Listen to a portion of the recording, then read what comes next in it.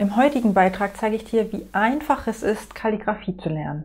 Wir lernen hier heute die Grundlagen und alles übers Material. Und natürlich lernen wir, wie wir mit dem Material umgehen. Kalligrafie lernen ist heutzutage wirklich einfach, dank des Internets. Die Digitalisierung macht es äh, leichter, als es jemals zuvor war. Es gibt äh, unzählige Hilfsmittel und ähm, dank des Online-Shoppings können wir einfach jetzt alles bestellen, was wir brauchen, was wir halt früher irgendwie nur im Schönschreibladen um die Ecke bekommen haben, falls es äh, so einen gegeben hätte. Aber ich schweife ab. Es geht ja um Kalligrafie. Ähm, ja, dank des Online-Shoppings und der Digitalisierung können wir halt alle unser Material einfach online bestellen. Einfach online bestellen. Und ähm, wir bekommen natürlich auch das komplette Wissen auf die Hand. Wir müssen nur googeln und dann zum Beispiel dieses Video finden oder andere Videos oder Übungshefte oder so und ähm, ihr könnt direkt anfangen und müssen nicht erstmal recherchieren, ob es denn Materialien gibt indem wir Leute fragen. Okay, ich habe jetzt genug vom Internet geschwärmt. Als erstes Hilfsmittel brauchen wir ein Grid. Das ist Neudeutsch und ist im Prinzip ein Raster. Und wichtig ist dabei zu wissen, dass je nach Schrift, die wir lernen möchten, wir ein unterschiedliches Raster haben. Hier habe ich ein Raster gemacht für eine Schreibschrift, eine englische Schreibschrift. Und hier ist natürlich das Raster ganz anders als auf diesem Blatt, wo wir gotisch Textur schreiben. Also die Raster unterscheiden sich schon extrem. Ich habe unter diesem Video einen Beitrag verlinkt, der ist auf meinem Blog. Und da drin findest du das kostenlose Raster, das ich für die englische Schreibschrift entworfen habe. Also kannst du dir dann kostenlos runterladen. Den Link findest du in der Bio unter dem Video, beziehungsweise wenn du jetzt im Beitrag bist, dann ein bisschen weiter nach unten scrollen. Jo, die große Frage, aber wie genau lerne ich jetzt mit diesem Raster oder mit diesem Hilfsmittel Kalligrafie? Du kannst hier zum Beispiel das ausgedruckte Raster unter ein Transparentpapier legen und dann darauf üben. Du kannst üben zum Beispiel mit einem Federhalter oder auch einfach mit einem Bleistift, das geht natürlich auch. Es geht ja als erstes, gerade bei den Schreibschriften, die ja relativ dünn sind, da geht es erstmal um die Form. Und die kann man natürlich auch ganz normal üben. Die könnte man sogar mit einem Feinliner üben, wenn man möchte. Jetzt erkläre ich ganz kurz das Grid, also das Raster. Die Grundlinie ist durch den fetten Strich ähm, und Grund markiert, also das Wort Grund. Darauf stehen alle deine Buchstaben. Darüber gibt es die X-Höhe, die mit dem X markiert ist. Dort enden alle kleinen, kleinen Buchstaben wie N, E, C und so weiter. Darüber gibt es die H-Linie. Dort enden die großen Buchstaben. Die K-Linie beschreibt den Endpunkt von auskragenden Buchstaben wie den kleinen T, ähm, dem oberen Bogen vom kleinen H und so weiter.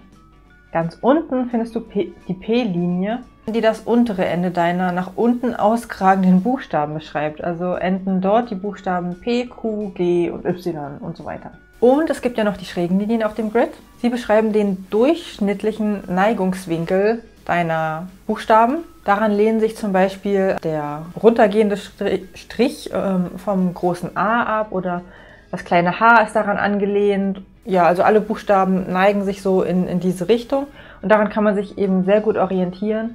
Und wenn man eine Weile damit schreibt, dann merkt man, dass die eigene Hand sehr gerne von diesem Raster abweichen möchte. Und wenn man dann ganz genau hinguckt, dann sieht man, dass wenn man jetzt ohne Grid schreibt oder ohne sich genau zu konzentrieren, dann machen die Buchstaben sowas hier. Ähm, also die wackeln so hin und her und das führt dazu, dass die Schrift eben niemals so richtig ordentlich aussieht. Wenn du damit übst, dann wird sich deine Hand schon bald, ja irgendwann oder bald, an diesen Winkel gewöhnen und dann geht es natürlich leichter. Also wir haben uns ja auch daran gewöhnt, also manche schreiben ja nach links geneigt, manche nach rechts geneigt, manche schreiben gerade.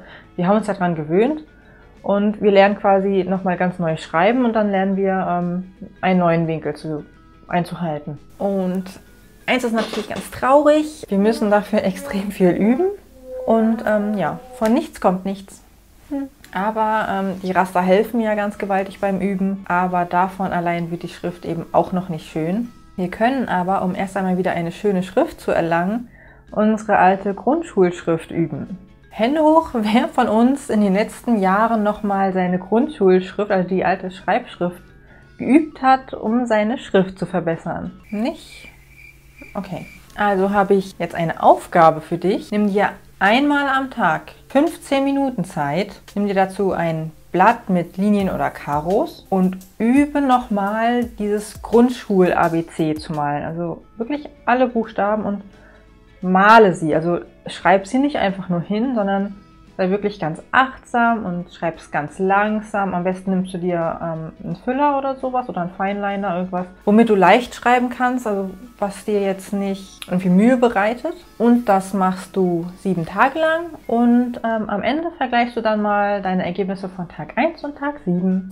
Falls du dich jetzt fragst, warum zum Teufel die Julia vom Farbcafé dir so eine bescheuerte Aufgabe gibt, dann hör zu. Nachdem jetzt also eine Woche lang schön unsere Schulschrift geübt haben, ist unser Gehirn wieder ähm, darauf konditioniert, schön zu schreiben und auf die Schrift zu achten. Ähm, also wir haben da natürlich eine ganz neue Aufmerksamkeit für Schrift allgemein entwickelt und natürlich auch für unsere Schrift. Und ähm, vielleicht hast du dann auch gemerkt, dass am Ende der Tage, also bei, bei gleichbleibender Sauberkeit der Schrift, bist du wahrscheinlich trotzdem schneller geworden. Guck mal, wer uns hier besucht. Auch jetzt guck doch nicht so missmutig. Dadurch, dass dein Gehirn sich in diesen sieben Tagen so ein bisschen umgebaut hat und hat halt wieder so einen Fokus auf Schrift gelegt, jetzt können wir wieder anfangen, was Neues zu lernen, also eine neue Kalligrafie. Das ist ja quasi eine neue Schrift, ein Akzent von einer Schrift. Und da dein Gehirn jetzt schon drauf eingestimmt ist, so okay, wir, beschäft wir beschäftigen uns mit Schriften,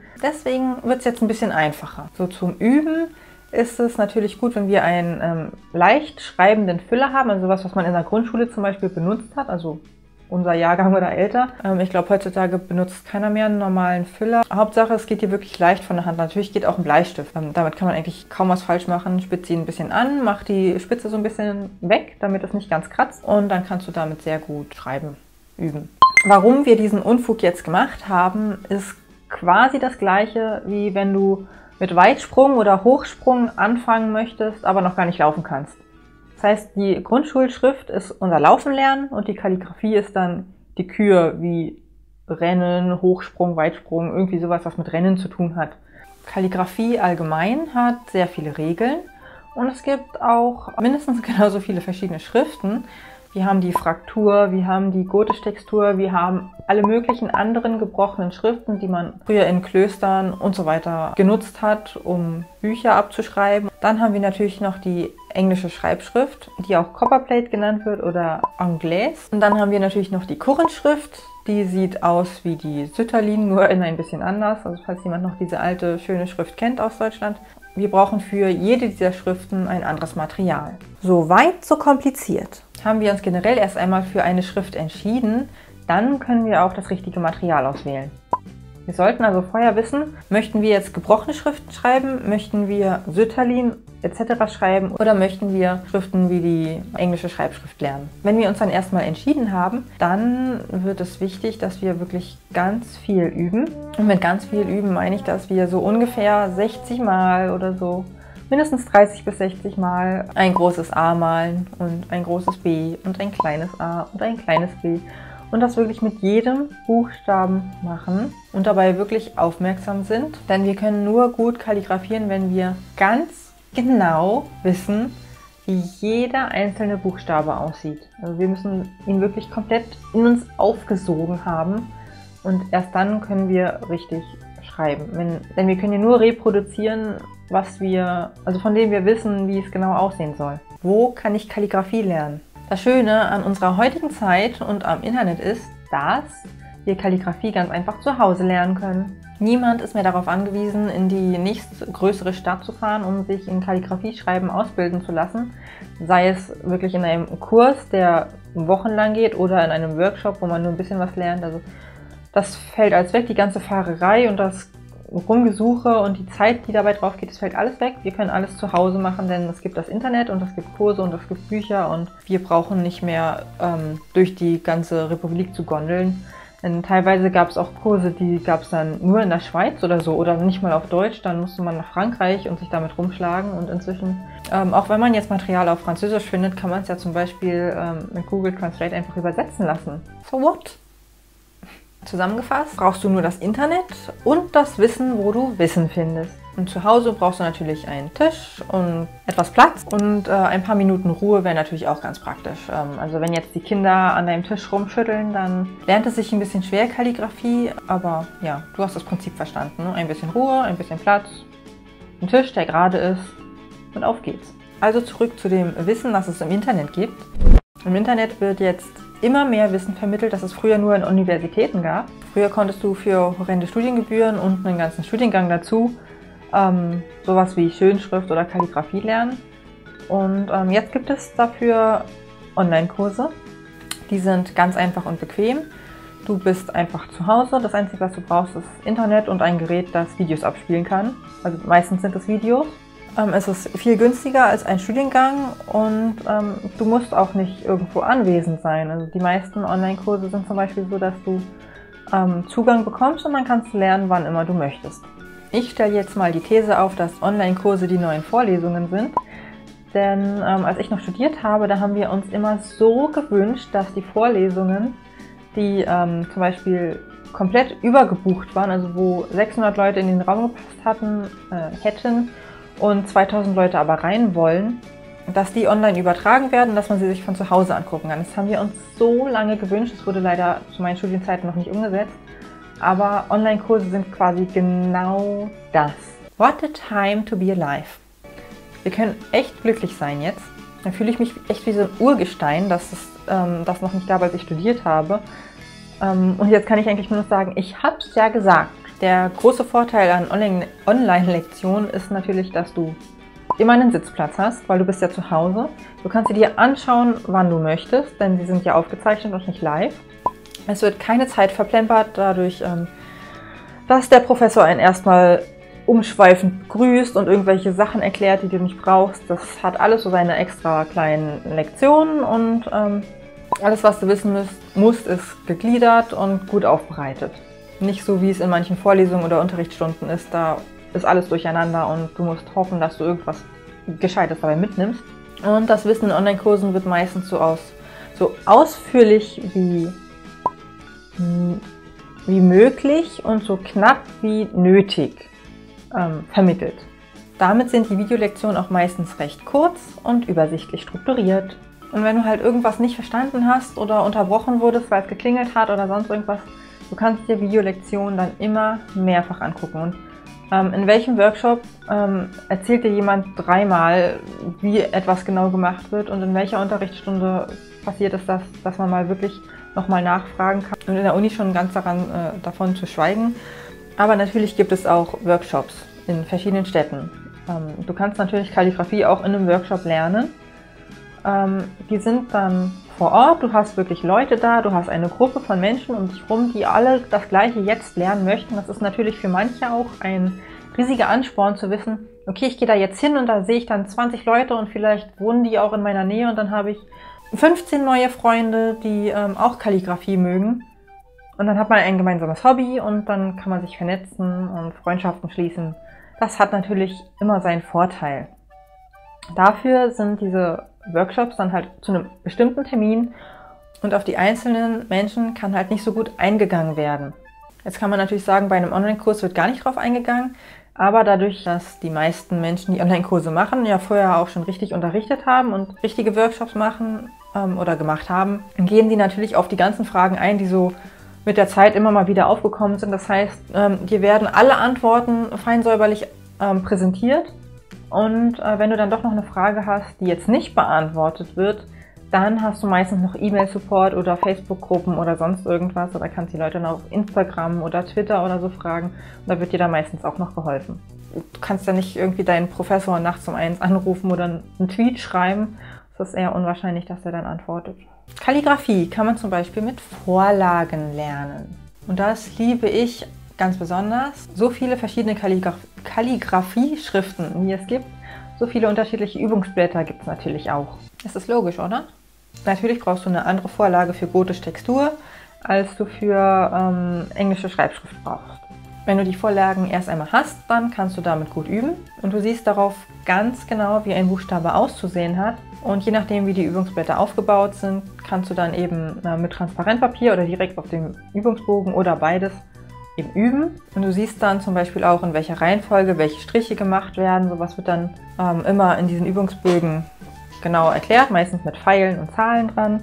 Und so wird einem dann Schritt für Schritt erklärt, wie man so ganz langsam sich seinen Buchstaben konstruiert. Manche Kalligrafieschriften werden eben eher konstruiert, Manche mehr gemalt und manche tatsächlich dann geschrieben, wobei sie dann auch mehr gemalt sind, würde ich sagen.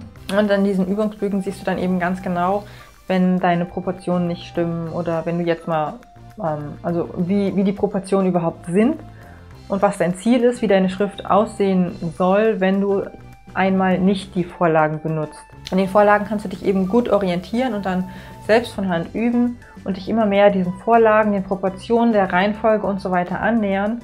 Manchmal hat man auch das Bedürfnis, einen Buchstaben in einer anderen Reihenfolge zu machen, aber das ist dann eben nicht richtig und führt dazu, dass man Fehler machen kann, also sich dann auch so einschleichen. Und meist sind die Buchstaben wirklich schon so konzipiert, also so in den Übungsbüchern so angelegt, dass du, wenn du die richtigen Bögen, alles in der richtigen Reihenfolge machst, dass du dann eben das schöne Ergebnis bekommst und ansonsten hauen halt manche Sachen nicht hin, weil du so Orientierungslinien nicht hast. Nach ungefähr äh, 100 Stunden Üben oder so, keine Ahnung, ähm, habe ich natürlich auch Übungsbücher, Übungsbögen gemacht.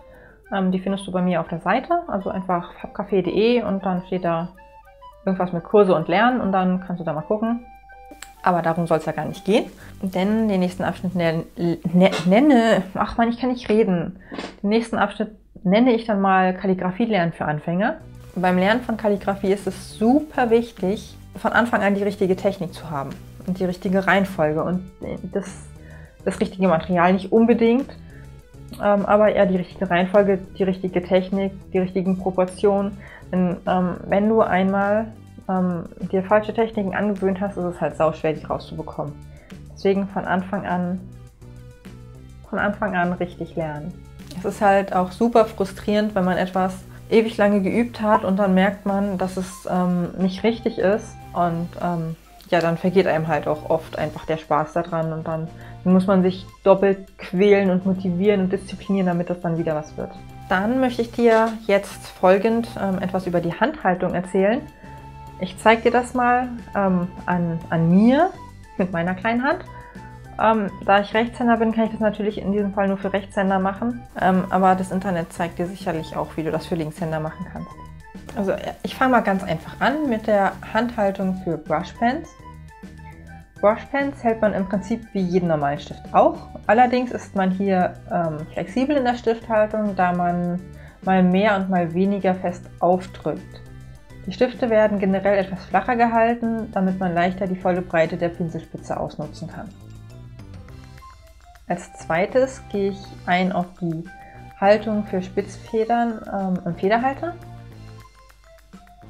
Elastische Spitzfedern werden für gewöhnlich zwischen Daumen und Zeigefinger gehalten. Der Mittelfinger liegt als Stabilisierung unterhalb des Federhalters.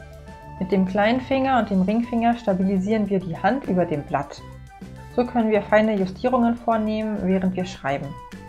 Es ist nötig, damit wir gleichmäßig und kontrolliert Druck auf die Feder geben können. Bandzugfedern oder Breitfedern richtig halten. Hier sagen historische Lehrbücher, dass man die Bandzugfeder mit dem Mittelfinger und dem Daumen hält. Der Zeigefinger wird dann ähm, nur noch zur Stabilisierung auf dem Federhalter abgelegt. Meine persönliche Präferenz ist es allerdings, den Federhalter zwischen Zeigefinger und Daumen zu halten und mit dem Mittelfinger von unten zu stabilisieren. In beiden Versionen dient der kleine Finger dazu, den Abstand zwischen Hand und Blatt zu kontrollieren den Schönschriftfüller halten. Viele Schönschriftfüller wie der Lamy Joy haben Mulden, die dir dabei helfen, deine Finger richtig zu platzieren. Manche haben einfach runde Griffstücke. Hier gilt, halte den Schönschriftfüller so, wie du einen normalen Füller halten würdest. Ähm, du nimmst den Stift zwischen Zeigefinger und Daumen und stabilisierst ihn mit dem Mittelfinger. Jetzt geht's ums Material und das wird jetzt ein bisschen kompliziert. Es gibt viele verschiedene Sets, es gibt viele verschiedene Stifte und viele verschiedene Federn und viele verschiedene Materialien. Und jetzt schauen wir mal, was zu was gehört. Ich beginne mit dem Schönschreibfüller, dem Kolben, der Tinte und dem Schreibpapier. Da Füllfederhalter dauerhaft mit Tinte gefüllt sind, muss die Tinte, die hier eingesetzt wird, ein bisschen flüssiger sein. Also flüssiger als die Tinte, die man zum Beispiel hier mit so einer Feder benutzt. Bei einem ähm, Füller, der jetzt zum Beispiel der von Lamy Joy ist, kann man die Funktion eines Kolbenfüllers ähm, nachbauen, integrieren, nachpatchen auf Englisch. Das machst du, indem du einen Konverter einfügst und die ersetzen den Kolben bei einem Kolbenfüller. Da kannst du dann auch die Tinte mit aufziehen, ihn wie eine Tintenpatrone dann einstecken und dein Füller bekommt dann die Tinte, die du gerne haben möchtest. Denn erstens sind ja die Patronen, die man so kaufen kann, überhaupt nicht nachhaltig. Und zweitens ähm, ist die Farbauswahl auch gar nicht mal so gut. Außerdem sind Dummy-Patronen halt echt teuer. Ich habe daher in ein paar Konverter für meine Füller investiert. Das hat halt ein bisschen Startkapital quasi gekostet, aber seitdem kann ich einfach jede Tinte benutzen, die mir so in den Sinn kommt, die ich haben möchte. Und es ist einfach jede Füllertinte, die man so im normalen Schreibbedarf bekommt, kann ich dafür benutzen. Mit einer elastischen Spitzfeder im Federhalter kann man so Schreibschriften wie Copperplate, aka Anglaise, englische Schreibschrift schreiben. Und dafür brauchst du eben einen Federhalter, die passende Spitzfeder, die richtige Tinte und gutes Papier. Bei den Federn ist darauf zu achten, dass sie nicht kratzen, dass sie die Farbe gut halten und auch gut abgeben. Federhalter haben diesen, diese Klammer innen drin, da kannst du die Feder dann reinstecken und da solltest du darauf achten, dass die Feder tief genug drin steckt, denn ansonsten könnte sie einfach rausfallen. Und du solltest auch darauf achten, dass die Feder relativ fest steckt, denn ähm, du möchtest ja nicht, dass die Feder beim Eintunken in die Tinte einfach ins Tintenfass fällt. Oder beim Schreiben einfach aufs Blatt fällt. Das wäre natürlich echt ungünstig. Das mit den Spitzfedern funktioniert so, dass du mit ganz, ganz leichtem Druck die Striche nach oben zeichnest und mit ein bisschen Druck die Striche nach unten. Dadurch wird dann die Feder aufgespreizt, da sie ja elastisch ist. Also sie hat ein elastisches Material und dann geht die Spitze so nach außen und dann ziehst du einen dickeren Strich und wenn du dann den Druck wieder loslässt, dann geht die Spitze wieder zusammen und dann ähm, machst du den Strich nach oben.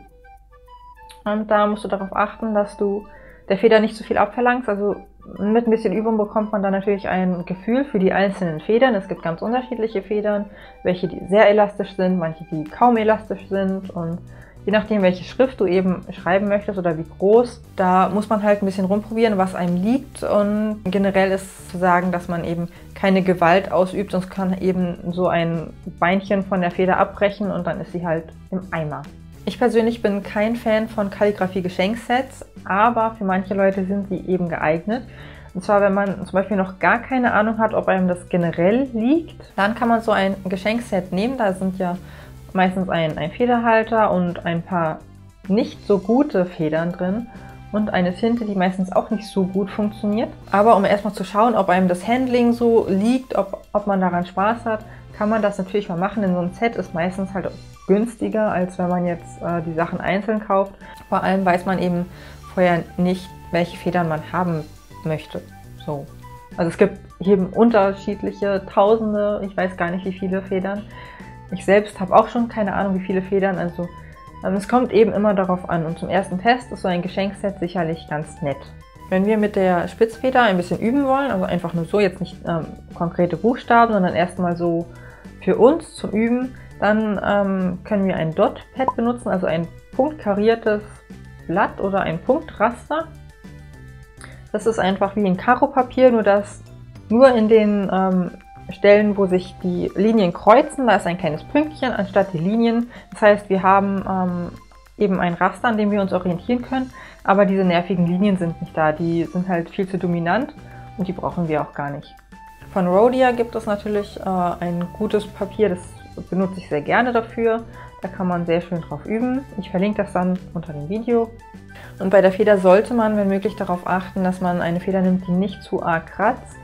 Denn wenn sie halt viel kratzt, dann kann es passieren, dass sie die Fasern aus dem Papier rausreißt und dann ähm, ja, bekommt unsere Schrift halt ganz viele kleine Ärmchen und ähm, ist halt so ausgefranst und das wollen wir natürlich nicht.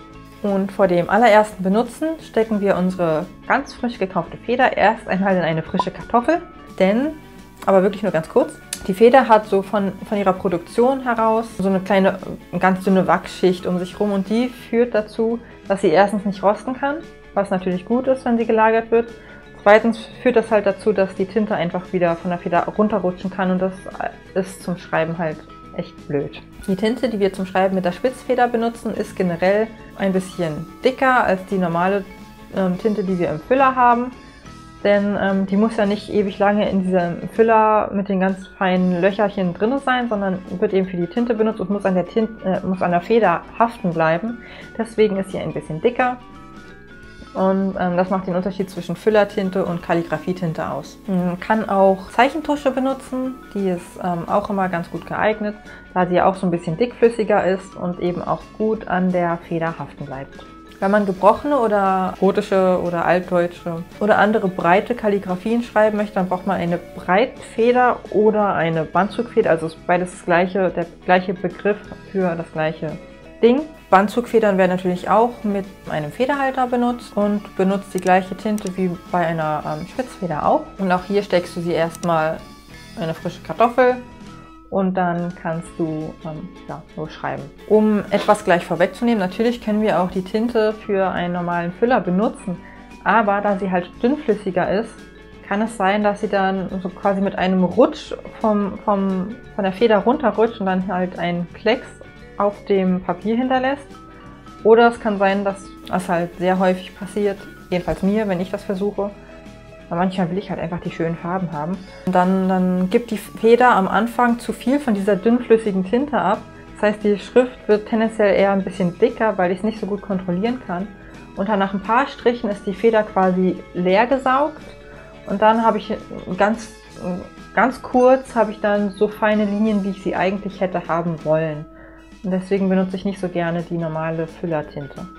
Kalligrafiefedern einsetzen ist eigentlich ganz einfach. Spitz- und Bandzugfedern werden nach der ersten Reinigung, äh, du erinnerst dich an die Kartoffel, ähm, in die Halterung des Federhalters eingesetzt. Dazu werden die Federn vorsichtig in die metallene Klammer geschoben und die Feder sollte mit etwas Widerstand in den Federhalter montiert werden, sodass sie hinterher halt nicht wackelt. Also es soll jetzt nicht schwer sein, aber ähm, eben auch nicht ganz einfach. Man kann natürlich neuerdings auch mit dem Brush Pen kalligrafieren. Das ist dann Brush Calligraphy oder Pinselstift Kalligrafie. Ich weiß gar nicht, ob es dafür ein deutsches Wort gibt. Das ist eine sehr moderne Art des Kalligrafierens, da wir eben dieses neue Medium dafür benutzen. Dafür benutzt man einen kleinen Brushpen und wir bekommen dadurch den Effekt von der englischen Schreibschrift zum Beispiel. Also es sind dann sehr elegante Schreibschriften, die wir damit machen können. Durch die äh, kleine, feste Spitze eignet sich der zum Beispiel Pentel Brush Pen auch für Anfänger, da die Spitze sehr stabil ist. Mit der Brush Calligraphy lassen sich gute Effekte erzielen. Man kann damit mit ein bisschen Übung genauso Copperplate schreiben wie mit einem Füller. Also wie mit einer Feder meine ich natürlich. Ich finde es eigentlich recht empfehlenswert, wenn man jetzt sagt, ich bin nicht so geschickt damit, dass mein Tintenfass nicht umfällt oder den Druck zu kontrollieren oder oder oder. Deswegen finde ich es eigentlich gar nicht so verkehrt, wenn man das mal ausprobiert. Mit der Spitzfeder kann man natürlich dann den gleichen Effekt erzielen und es wirkt dann alles noch ein bisschen eleganter, da man eben auch andere Tinten benutzt. Man sieht halt schon einen Unterschied zwischen einem Brushpen und Feder und Tinte. Und man kann halt auch andere Oberflächen damit beschreiben. Je nachdem, welche Tinte man benutzt, man kann quasi, quasi alles benutzen. Und in einem Brushpen kannst du eben nur das benutzen, was im Brushpen drin ist. Dafür eignen sich halt je nach Untergrund mal die Feder und mal der Brushpen mehr. Das muss man halt für sich ausprobieren um Kalligrafie zu erzeugen, die so ein bisschen mittelalterlich ist, ähm, würde ich sagen, dass das immer mit so Schriften wie Fraktur oder gotische Textur verbunden wird. Dafür braucht man dann eben die entsprechenden ähm, Übungsblätter, die haben gar nichts mit Kalligrafie in Copperplate zu tun. Das sind dann komplett separate Übungsbücher.